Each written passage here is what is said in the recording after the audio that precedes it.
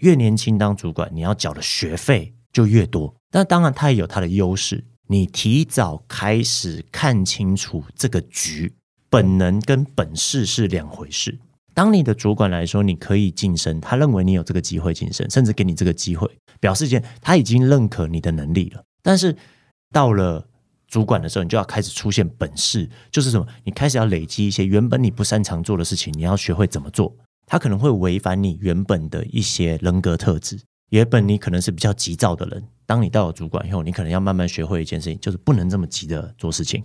原本你可能是有情绪就会把情绪宣泄出来的人，当你到了主管以后，你就要练就一身本事，就是什么？即便你很不爽，你有办法在开会的过程当中闷不吭声，还带着微笑离开。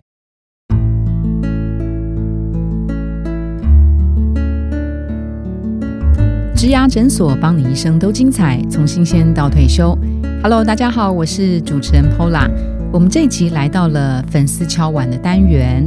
那这是一位粉丝朋友，他在一零四植牙诊所的网站上问了这样的问题：二十六到三十岁，他可能就有当呃主管的这个机会，可是他现在会先预见的状况，所以他有点挣扎，到底要不要接？好，今天回答这位粉丝朋友的问题，这位来宾呢，他是学堂讲座的创办人、企业培训讲师方志勇方老师。Hello，你好。Hello，各位伙伴，大家好。我是方志勇，大家都叫我小安老师。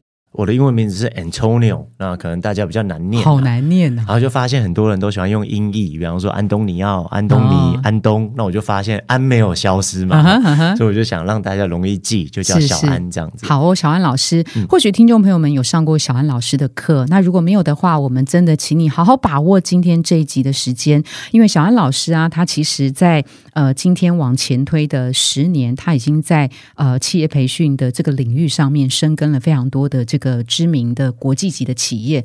金华酒店呐，老爷酒店呐，零售业上也跨足到一些汽车行业，中华宾士啊，B M W 等等。好，所以他的职场内外的经验其实是非常的多，而且是从员工到主管，其实他大概都有非常透彻的一个呃看法跟分析啊。最重要的是，他在二十三岁的时候他就当了主管哈。那这位朋友的这个问题，他是在投资理财相关业做的是专案管理，有多年轻呢？二十六。到三十岁，他可能就有当呃主管的这个机会。可是他现在会先预见的状况，所以他有点挣扎，到底要不要接？第一个，他当主管了，是不是提早转换心境了？因为一般的非主管跟主管，其实在工作上面还有承担的压力跟责任其实是不同的，这是他第一个担心。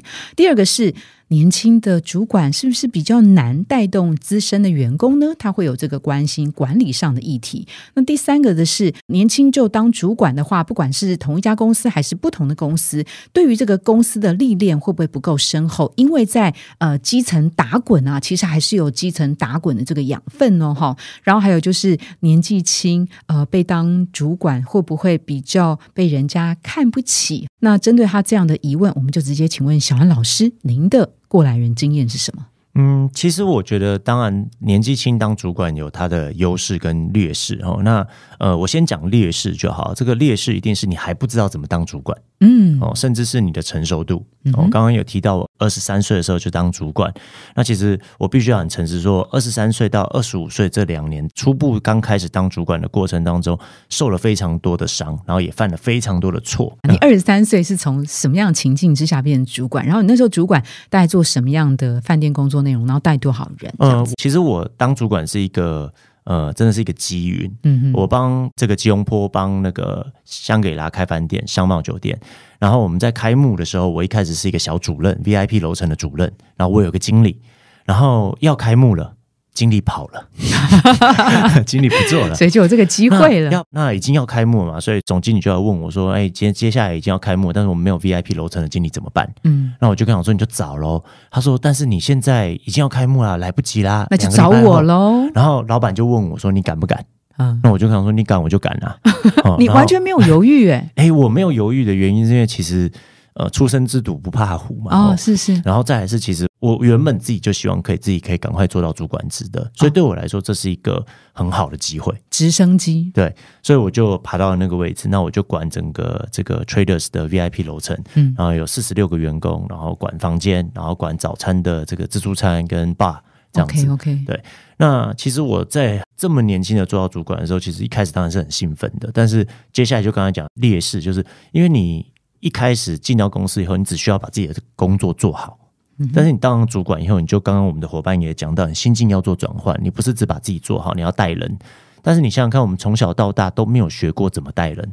我们在教育的过程当中，大致上学校都把我们计划好，爸妈都帮我们计划好，我们都是被带的那个人。然后大致上只要关心自己有没有成功就好。那当然主管以后，你就要这个去做心境上的转换。但是这就跟你的成熟度开始出现了冲突。你的成熟度上面就会想一件事情，叫我二十三岁当主管，这个人二十八岁，怎么他还要我教？哦，啊，这个时候就会出现冲突。然后呢，你就会怎么样？你就不想教他，你就会骂他，你就会瞧不起他，瞧不起他。然后我就会问他：我二十三岁在这边骂你，你二十三岁的时候在哪里？哦，类似像这样的话，也会碰到另外的劣势，就是因为你不成熟，所以你会想尽办法证明自己很厉害。那你在想办法证明自己很厉害的时候，你就会想要去踩别人。哦，那这个时候你就会出现跨部门的失和。饭店是一个很需要各个部门互相合作、互相支援的一个产业。嗯，那你想想看，你不断的跨部门去破坏这个人和的过程当中，你自己也越来越少资源，你就必须要靠自己。嗯，然后就很累，那就很累，那就很辛苦。是是。那所以我说，这个是一个劣势。这个劣势就是你要缴越越年轻当主管，你要缴的学费就越多。是哦，这是一个劣势。但当然，它也有它的优势。这个优势就是你提早开始看清楚这个局。呃，我们在学校里面念书的过程当中，在学校在培养你的职业，就是毕业以后你有一份工作，你可以养家活口，可以把自己顾好。但是，其实当你进到社会当中，开始看懂这个局的时候，你就会开始发现一件事情，叫做：如果你想要取得更多的成就或成绩，你就必须要不能只顾好自己，你必须要有能力顾好更多人。嗯哼，所以当你很年轻当主管的时候，你可以更早看懂这件事情。在这个看懂这个局的过程当中，你就会开始了解一件事情，叫做本能跟本事是两回事。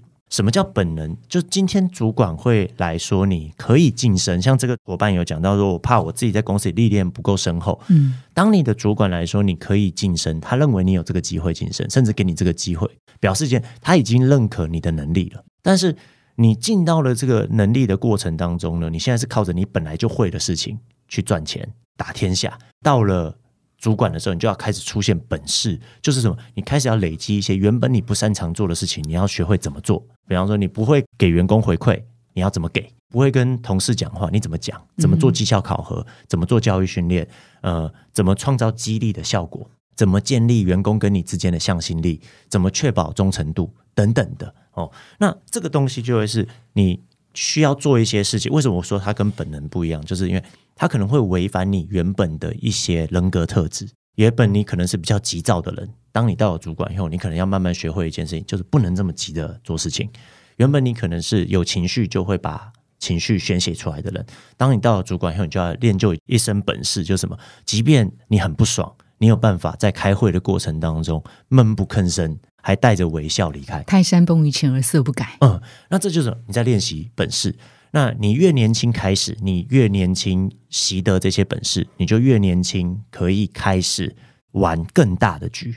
这是第一个。第二个是，当你这么年轻当主管，开始看懂这个局的时候，你还会看懂第二件事情，叫做鼓励跟促成是两回事。很多时候我们会鼓励员工说：“哎，这个 Joy 你要多学习哦，Pola 你要多看书。”鼓励他不见得会做。我要怎么样促成他看书、学习、进步这件事情，就会变成是机制、流程、价值观的传递、文化的传递、沟通的模组、沟通的模块，乃至于考核机制的设定，让伙伴们有机会做到这件事情。嗯，那当你很年轻开始当主管的时候，你就会开始发现鼓励没有用，那你就开始想方设法去促成事情的发生，那就有点像 Q R code。Q R code 在这个世界是一九九四年就已经发明的东西，所以你看，在这个世界上已经将近二十几年了。但是疫情之前，台湾很多长辈根本没有用过 Q R code。现在怎么？你放个 Q R code 在上面，你不用教，大家就会阿公阿妈都会扫。为什么？因为环境促成了这件事情。是以前我们都会说鼓励大家要数位化，疫情就促成了大家要数位化。当你越早当主管，你就会看懂这个局，你就会看懂第二件事情，就是你会知道鼓励跟促成是两件事情。身为主管，我不是只是鼓励员工，我要想办法促成这件事情。那当然，最后一个局是最重要的，叫无限赛局。这个 Simon Sinek 美国作家写的这个书《无限赛局》，是当你很年轻当主管的时候，你就知道成功不是一个零和的游戏，它是一个一直不断成长的游戏。你才会开始发现一件事情，叫投资自己是你这辈子最不会亏本的。投资最没有风险，就你今天去买一档股票，即便我们家的护国神山，你都不见得会有回报。你投资自己，当你看到是无限赛局，你就会知道你有很多东西可以学，有很多东西可以做，有很多东西可以尝试，可以去做这件事情。所以对我而言，越早当主管是利大于弊，但是你一定要想办法在这里面付出成本、付出学费的过程当中。真的有学习，很多年轻的主管，我看到常常是什么？我当了主管以后，我就讲啊，我却发现我不适合当主管。我都会跟伙伴们讲，你没有不适合当主管，因为这辈子你迟早得当主管。你当爸妈是在当主管。如果你今天不生小朋友，也不结婚，那你爸妈会老。我们常讲返老还童，爸妈开始老了以后，你要帮他做财务管理，帮他做生活管理，甚至什么他后事你要帮他管理，这些东西都是你要管理啊。那其实。如果你越早在公司里面学会当主管，其实你的成熟度会越早提升，你对自己的挚爱其实是有很大的帮助的。OK，好，那今天这一集啊，我们非常谢谢小恩老师用他亲身的经验，他在二十三岁到二十五岁的时候就已经那么年纪轻轻就当上了主管，带领四十六个人哦。他用他当时意气风发哈。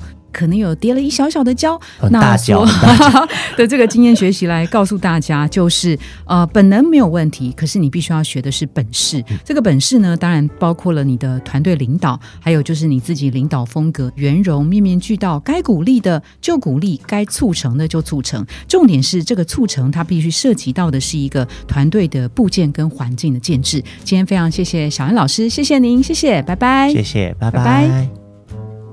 如果您喜欢今天的内容，请给我们五颗星，并且留下好评。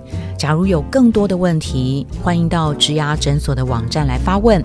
特别想听什么主题，请点击节目资讯栏的连结投稿给我们。也邀请您订阅追踪，掌握最新的内容。我们下次见喽！